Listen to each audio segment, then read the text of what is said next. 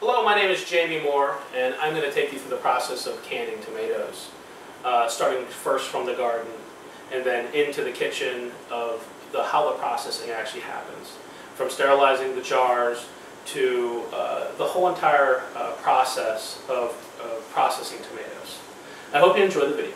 So we're in the garden, and I've got a variety of different uh, tomatoes that I'm growing, and we've got um, some plum tomatoes here, as well as some plum tomatoes back there.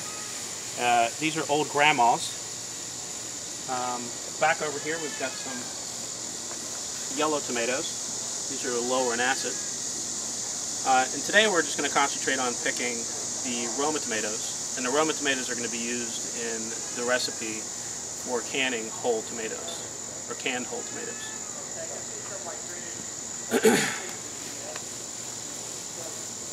I'm trying to find the ripest fruit. I don't want anything that's off color. Um, this will be uh, as red as I can find them. I, I picked some some earlier, but today I'm just going to pick the uh, ones that are uh, the ripest, and then those will be the ones I'll be canning So uh, the, canning process from this point is utilizing uh, some equipment. Some of the equipment that you're going to need to have uh, is this gripper. This is a gripper to be able to pick up these glass bottles. Uh, not sure the exact name, we'll call it gripper.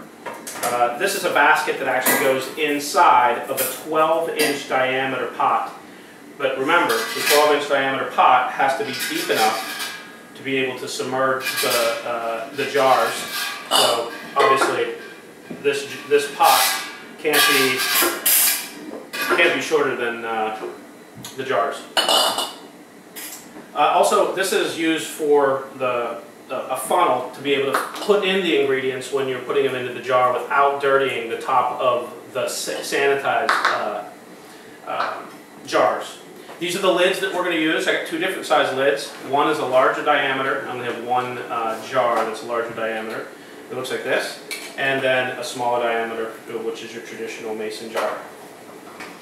Uh, to be able to take the core out of the tomato, I've got a shark. Uh, this is a tomato shark. Uh, very simply, it just works into the tomato like this, turn like this simply, and it pops out the core. Great tool to have, easy, uh, easy to use.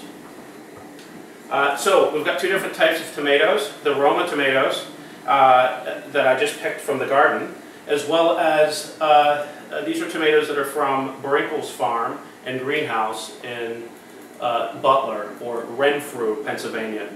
Uh, and we're going to use those for a sauce. I'll make a sauce a little bit later. The first thing that we're going to do is can whole tomatoes. Alright, so now I'm getting the tomatoes prepped for, uh, I'm going to blanch them in boiling water. And then I'm going to take the blanched tomatoes and put them into an ice bath. So I have ice over here, fill my sink up with ice, and then I'm going to take the tomatoes directly from the boiling water. They're going to, they're going to blanch for about 60 seconds and then they'll make the skins a little easier to, to pill. So to be able to uh, prep the tomatoes, again you take the tomato shark, you go into the tomato, and I like to just put an X on the bottom of my tomato. And uh, I, I, actually this is for my compost. And it's easier just to take the tomato shark and go through all of them first, and then go back and put the X on each of them. So the X is just real simply, real simple. Just put your X on the bottom of them.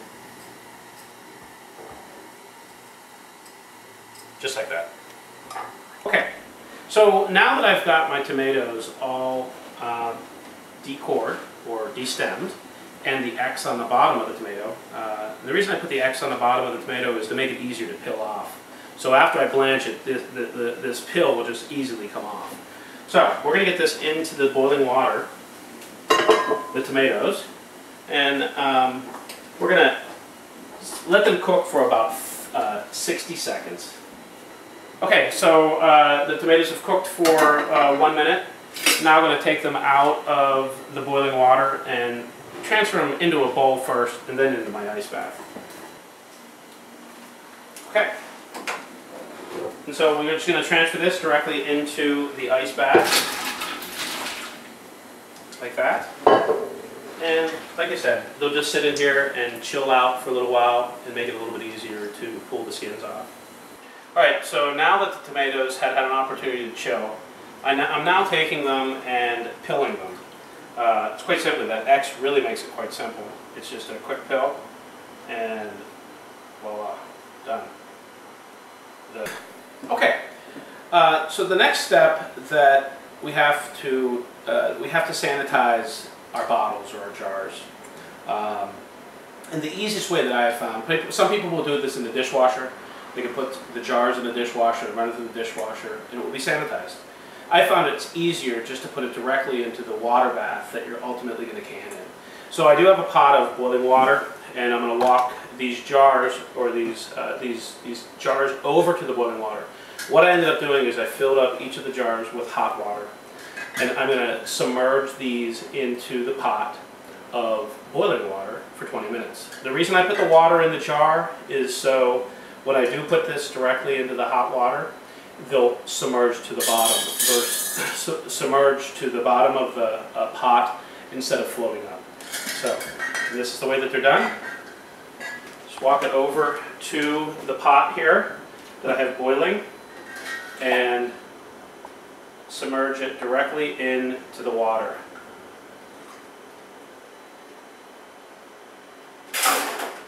Like that. These will, these will uh, stay for about 20 minutes to be processed, or can, not canned, but to be sterilized. I will also put the jars in here, or the lids in here. I, I will be putting the lids directly into the water as well. And these just have to be submerged for about uh, 5 to 10 minutes, directly before you end up putting them into, uh, or onto the pot. Okay, uh, so there's two different types of canning processes that you can do. You can do a cold pack, or a hot pack. I'm doing a, a hot pack. In a hot pack, I'm going to actually uh, cut the tomatoes in half and put them into uh, a pot, fill it with hot water, and boil it for about five minutes. A cold pack is taking the tomatoes, cutting them or keeping them whole, putting them into the jar, and adding boiling water to the jars.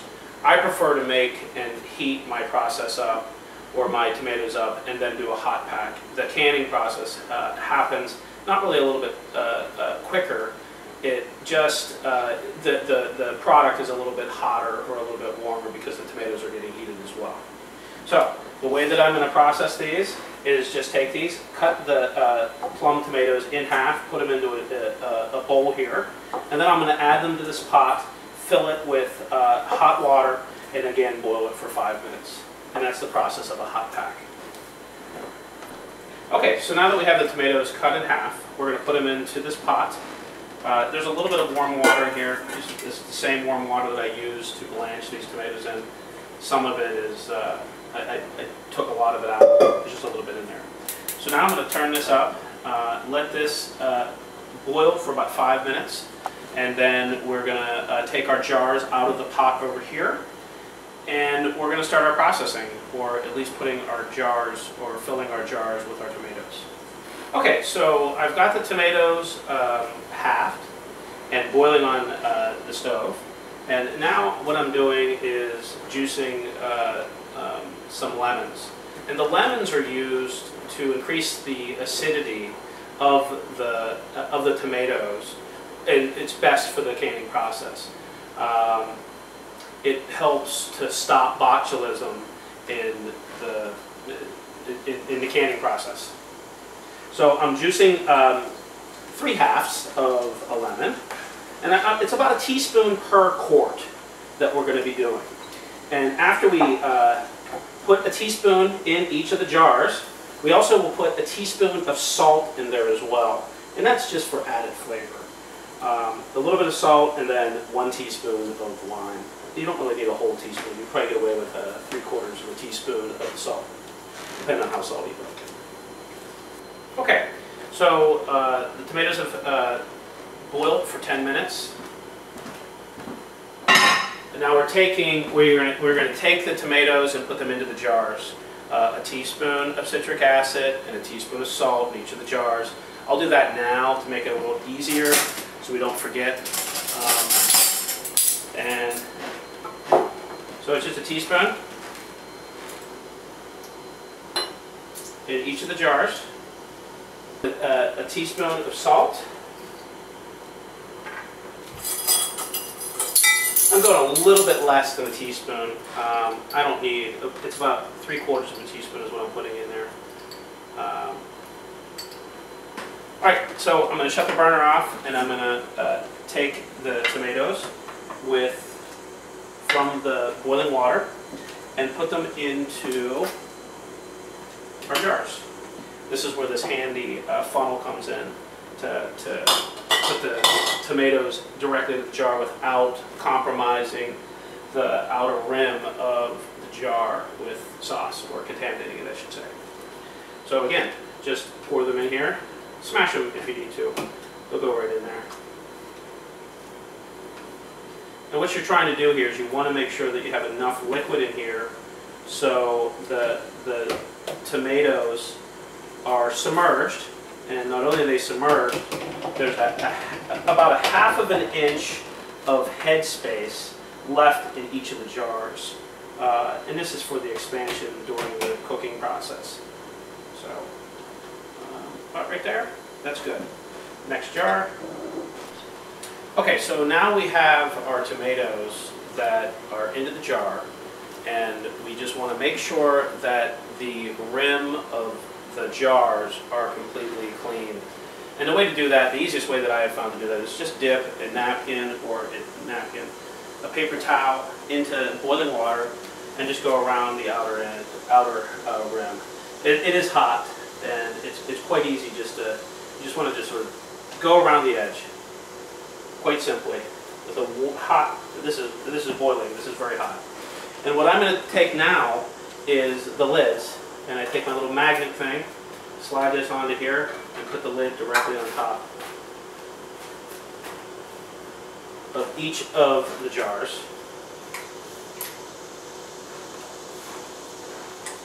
And then what I do is take my, take my lids here and put lids on each of the uh, jars and just ever so slightly tighten it. You're going to tighten a little bit more right before it goes into the jar, into the canner, or into the boiling water.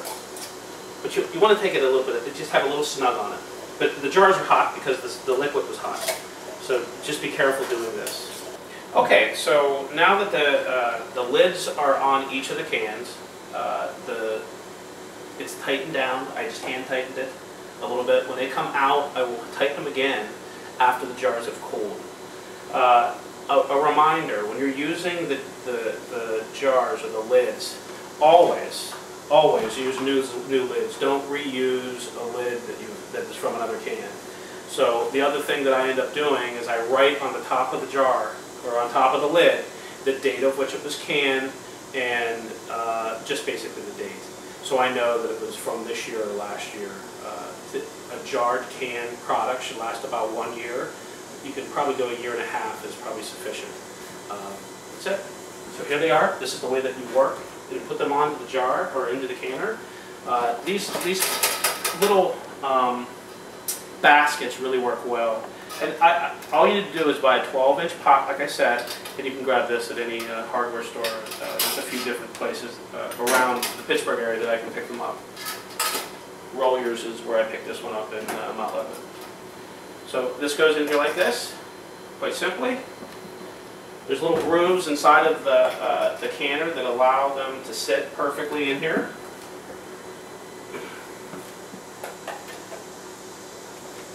And again, this is going to be processed for 45 minutes. There is a reason why I'm using this because the jar is hot. Again, this was hot uh, product going in. This is considered a hot bath.